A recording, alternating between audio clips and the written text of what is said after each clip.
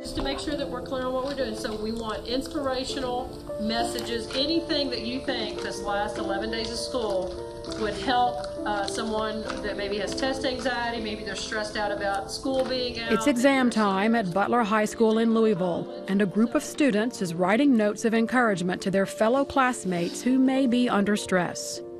You know, words are powerful, so put those words down, and then we're going to get these in the lockers, and we're going to get these. These students are part of an evidence based suicide prevention program called Sources of Strength, which highlights eight different protective factors. Sources of Strength is a totally amazing program. Basically, it's a resiliency program. It helps students look at all the different resiliency skills that they can develop, the coping skills that they can develop that are positive, versus when things are going difficult, turning to drugs, versus when things are difficult, turning to violence. The mental health of our students is a, is a major concern. A lot of times, the focus seems to be everything on academics, reading and writing, which is important. Um, but we all know that the uh, mental health and well-being, uh, talking about whole child, um, building those type of resiliency skills um, are, are, are key. Because we're in a generation of social media where we're always comparing ourselves to somebody else. I like to call it, I'm comparing my life to somebody's highlight reel. I think that's the biggest problem I see is a lot of kids, they don't know who they are. Um, by seeing the signs, the wheel, uh, it makes people think and it gets their attention. Like, wow, I never thought about mental health. Or wow, I never thought about my mentors. I never thought about a person I could go to to talk. The program helps develop peer leaders who first learn to tap into their own sources of strength and then act as agents of change within their peer groups.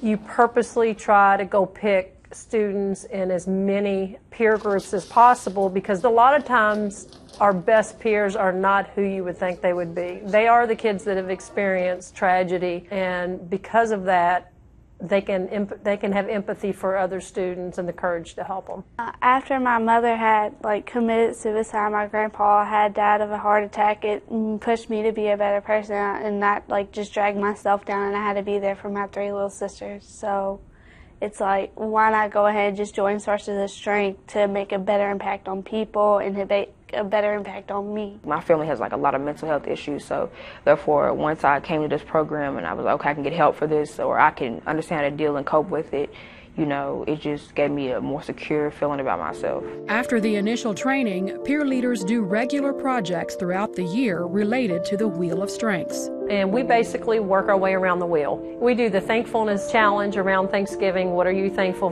for? The thankfulness journals. We uh, create bulletin boards throughout the building. We do a Who's Your Mentor program, Who's Your Positive Mentor. We put those up throughout the building. We try to do something every single month. At Butler, Sources of Strength has contributed to a school wide culture of caring where students look out for one another and adults are seen as trusted advisors.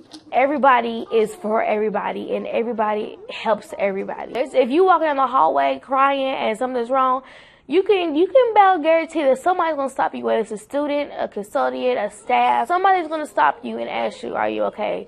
And because we all care about one another, even if we don't know you, complete stranger, I've never seen you a day in my life. But we're gonna make sure that you're okay. Positivity spreads, so like since people, my friends notice that I'm in sources of strength, they will come to me for advice or just to ask me about the program in general so me showing them that I care about them helps them care about others, if that makes any sense. So like good things is getting passed uh, passed around. Sources of Strength has already broken down traditional codes of silence among students at the school. Peer leaders at Butler are certain they've saved lives because of this. My door opens and closes all day long. And they, they know when they can help and when it maybe it goes above a level that they can help if someone's in danger and they'll bring them to us. We can talk about anything in this world, but if you ever say that um, I want to hurt myself or I want to hurt somebody else or I know of someone wanting to hurt themselves, then that's when I have to tell. And I will tell them, I don't care if it's one o'clock on a Sunday morning. If you know that, that somebody you care about is in danger, a student, whether it's a Butler student or somewhere else, you let me know. Research into sources of strength program outcomes nationally have shown increases in connectedness to adults, school engagement, the likelihood to refer a suicidal friend to an adult, positive perceptions of adult support, and acceptability of seeking help. The largest increases have been amongst students with a history of suicidal ideation.